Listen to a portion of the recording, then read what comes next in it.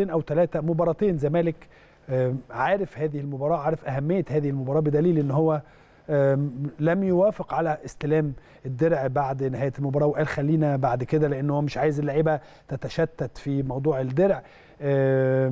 اسوريو نفس الكلام مدير فني أول مرة هيلعب عامل مع الزمالك أو طور من الأداء الهجومي لنادي الزمالك خلال الفترة الأخيرة وبالتالي عايز يكسب النادي الأهلي عايز يكسب بطل أفريقيا حقه. لكن كيف ترى هذه المواجهة الكولومبية السويسرية؟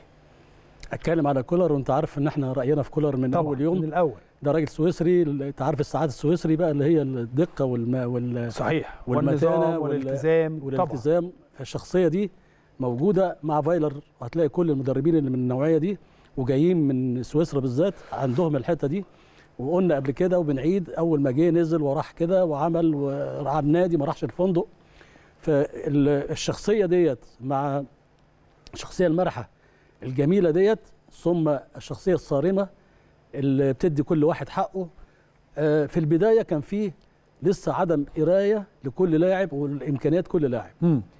آه، كانت هناك جلسة كانت في منتهى الأهمية مع الكابتن محمود الخطيب مم. ومع لجنة التخطيط آه، وضحوا له يعني إيه نوعية اللاعب ال- العربي بيبقى فيه أحيانا عدم آه، ثبات في المستوى آه، إلا لما بيبقى فيه حاجات معينة ممكن تتعامل مع اللاعب ومن خلالها أنت بتتعامل مع ال- الفريق. والح- والحمد لله بفضل الله بعد القعدة ديت شفنا عملية التطوير. الموضوع اتغير. الموضوع التطوير الأداء لكل لاعب ثم الأداء الفريق وشفنا النتائج اللي هي كلها الثلاثات اللي كانت موجودة ثم عملية بعد السان داونز والوقفة المهمة جدا طبعا. من إدارة النادي ومن الكابتن خطيب مع الفريق.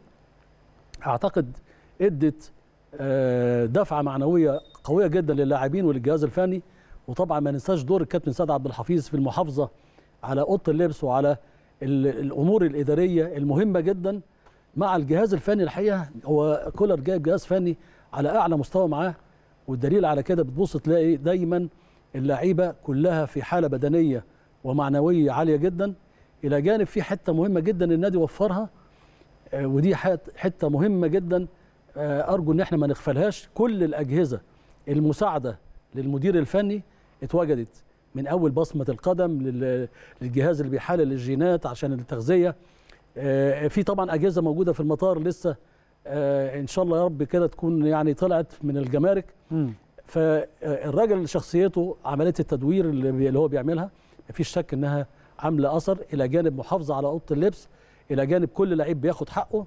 آه، عامل آه، روح جميلة جدا ما بين اللاعبين.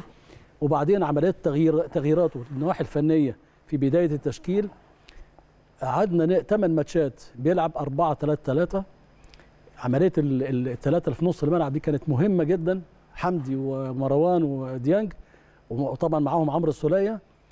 عملت نوع من ستارة قدام المدافعين لذلك إحنا دايما أقل فرقة دخل فيها أهداف إحنا وأكبر فرقة ودايما بيعمل زي ما كان جوزيه معاكم بيعمل إيه؟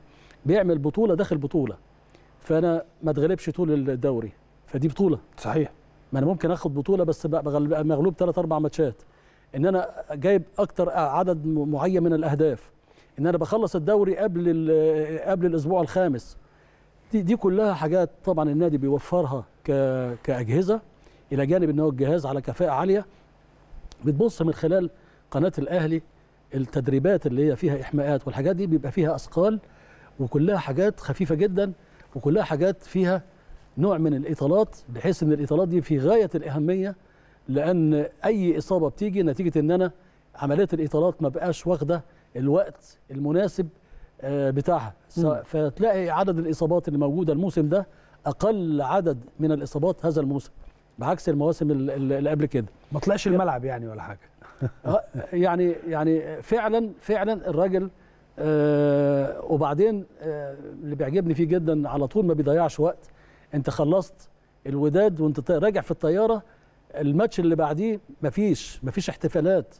هو راجع من الطيارة فاتح اللابتوب بتاعه وعمال شغال في الماتش اللي انت على طول هتلعب فيه بالماتش اللي بعديه. عملية تطوير ل- لبيرسي تا وحسين الشحات اللي بيدافعوا وبيهاجموا ما كانتش موجودة. هاني اللي كان كل الناس يعني واخدة منها منه موقف. شفنا هاني وأداؤه الرائع والرجولة والالتحامات وال آه، منعم علي معلول بيدي علي معلول على طول كل الماتشات.